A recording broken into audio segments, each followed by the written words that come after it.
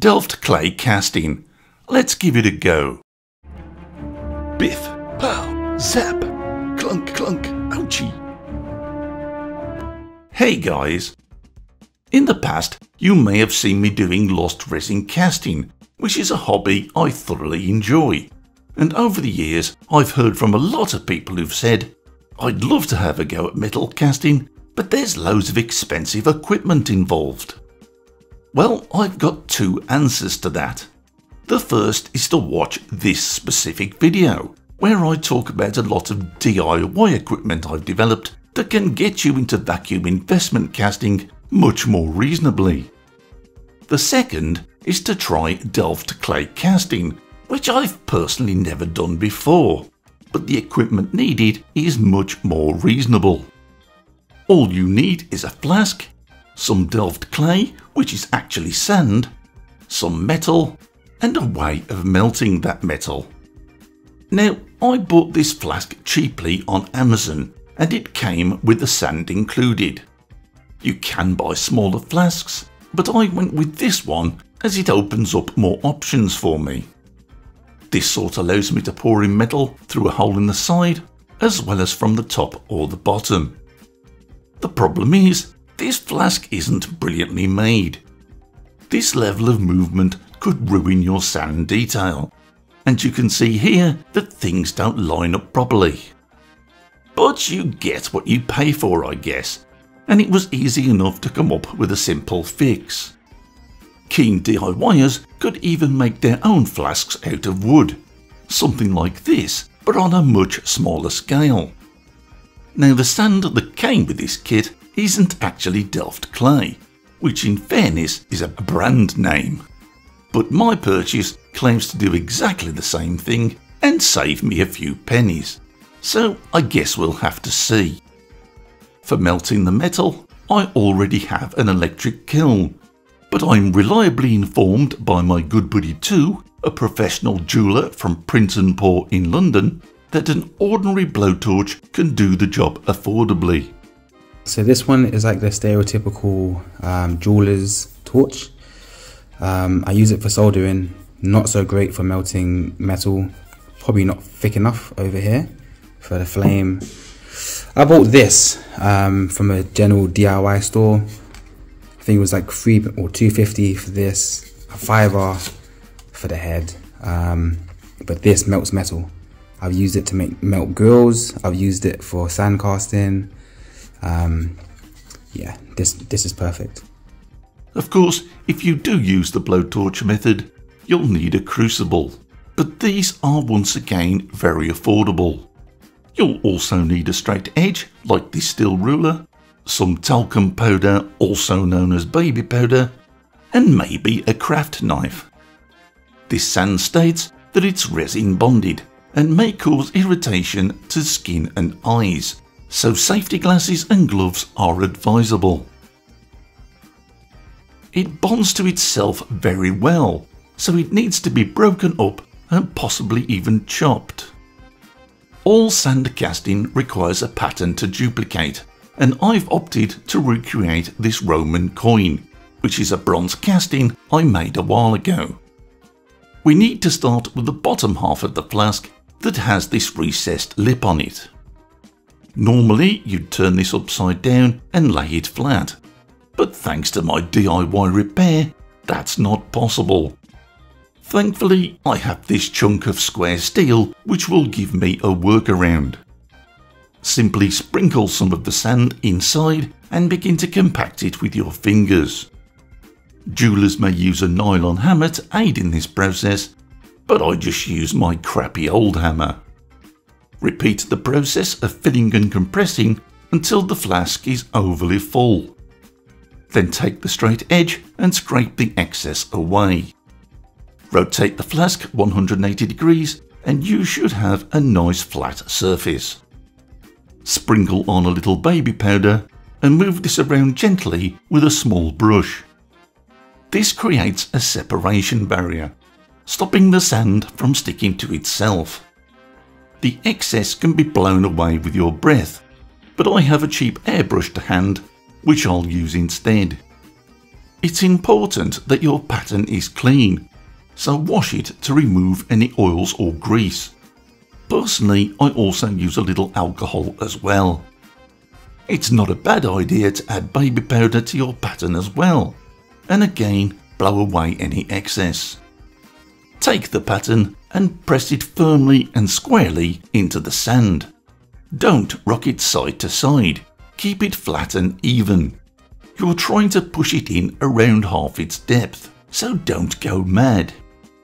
Taking note of where the access hole is in the flask, I began using an ordinary drill bit to push down what will become the feed sprue, and again I'm only trying to go halfway.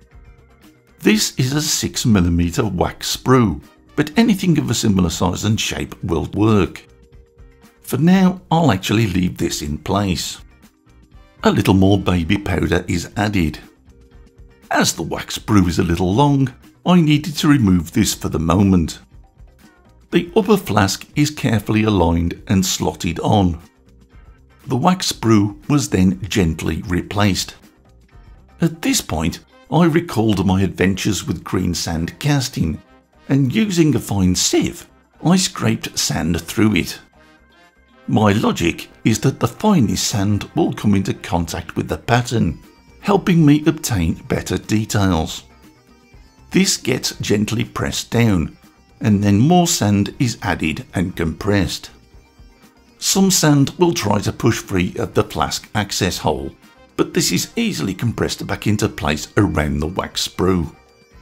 Once fully filled and scraped level, the wax sprue is gently twisted and pulled free. The flask is gently pulled apart.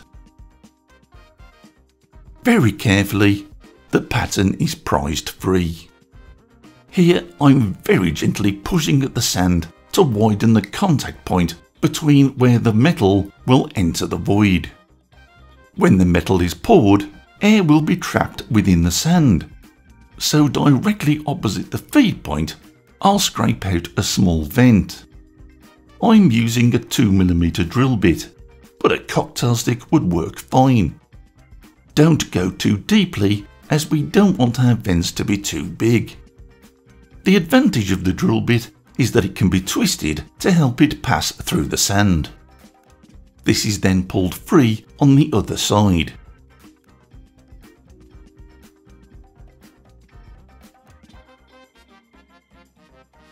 The two flask halves can now be carefully aligned. Using a craft knife, a cone shape is cut around the access hole. This will form the feed point. It's smoothed and compressed gently. The flasks are opened again to ensure the feed is clear of any loose sand. Finally, it's ready for the pour, but my flask doesn't have any means of locking in place, so I added a little tape to keep things in position. As I said, I'm using an electric kiln to melt silver, but a blowtorch could achieve the same results, and probably quicker.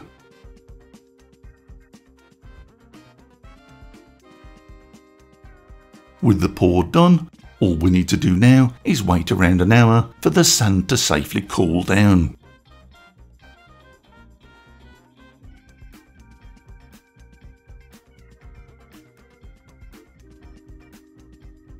That isn't looking too bad. It's actually better than I thought it would be. It's important to mention at this point that the charred sand is no longer usable and this needs to be scraped away and discarded.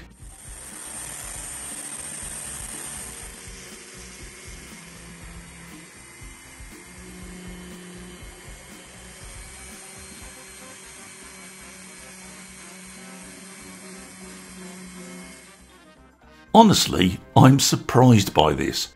I was expecting much worse. For my first ever attempt at casting using this method, the result is pretty good. I was so pleased, I decided to have a go at casting this Skyrim shield pendant that you may have seen me make previously. I decided to approach it in exactly the same way.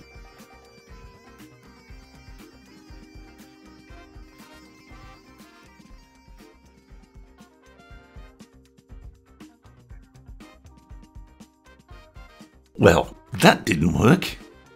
This pendant is thinner and larger than the Roman coin, and the metal doesn't seem to have flowed as well.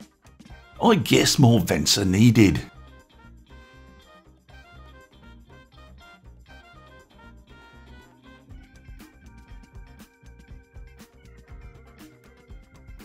That's closer, but no cigar.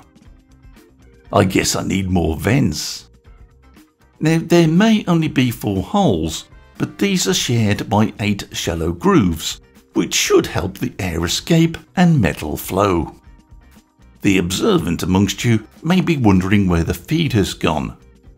This time, I decided to come at things from the top, or possibly the bottom, depending on your point of view.